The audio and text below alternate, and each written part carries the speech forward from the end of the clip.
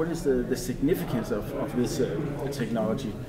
Well, the significance is for sure to uh, build this digital representation, which is not something completely abstract, but something that actually uh, mediates a bit between what we are uh, used to think about when we think about a model, uh, so completely digital, discrete, discrete uh, way of representing reality, and what we really see in the real uh, world.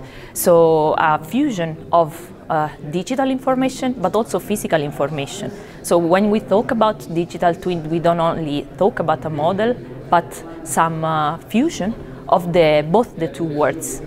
And this is, I think, the key in this uh, context.